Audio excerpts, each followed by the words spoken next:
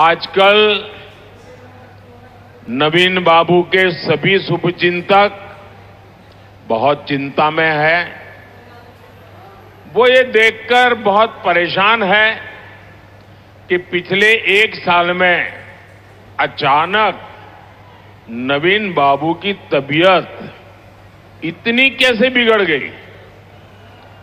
बरसों से नवीन बाबू के करीबी रहे लोग अब जब मुझसे मिलते हैं तो ज़रूर नवीन बाबू की तबीयत की चर्चा करते हैं।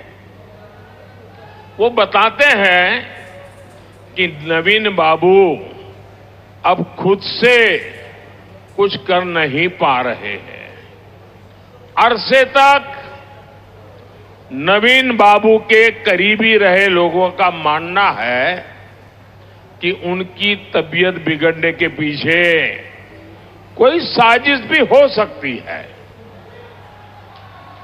सवाल ये कि नवीन बाबू की तबीयत खराब होने के पीछे क्या कोई षड्यंत्र है क्या? ये उड़ीसा के लोगों को जानने का अधिकार है। कहीं इसमें उस लॉबी का तो हाथ नहीं है ना?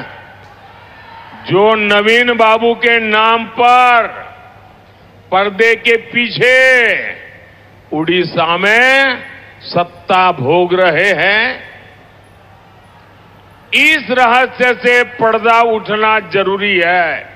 उठना चाहिए ना? पर्दा उठना चाहिए ना? पर्दा उठना चाहिए ना? इसका पर्दा उठना चाहिए इसकी जाँच आवश्यक है।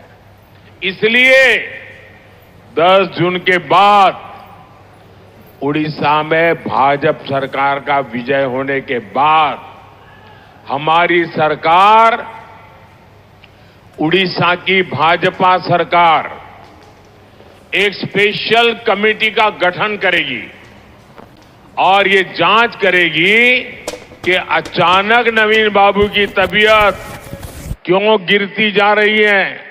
उनकी तबीयत के साथ ये क्या हो रहा है?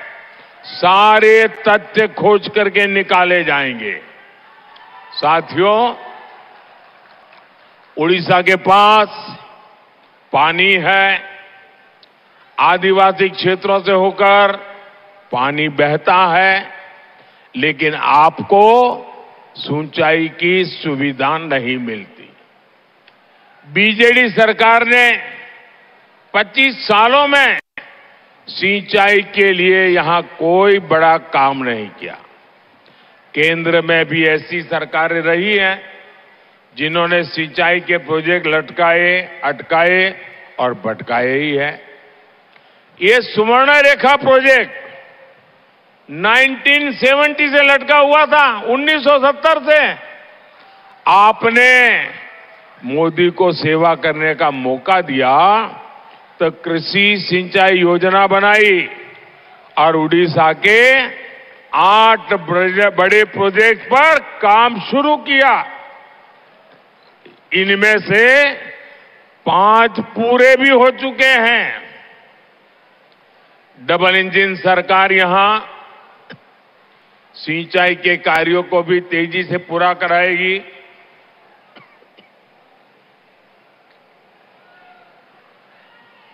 साथियों, ये मोदी सरकार ही है जिसने बादाम पहाड़ क्षेत्र में 100 साल बाद एक्सप्रेस ट्रेनों का संचालन शुरू किया।